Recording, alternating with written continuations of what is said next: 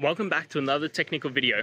Today, I'll be going through your question, answering it, and hopefully finding that solution that you need. Guys, remember to stay just a little bit crazy, just like me, and hopefully find that resolution you're looking for. Now, let's continue on to the video.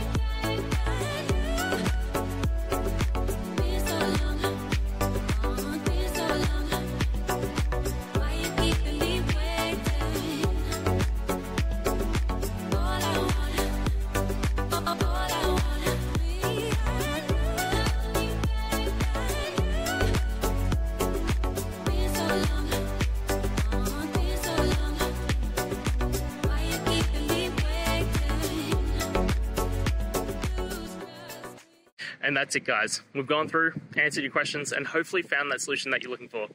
If we did, please hit subscribe. I'd really appreciate it. And until the next time you need technical help, I hope you have a good one.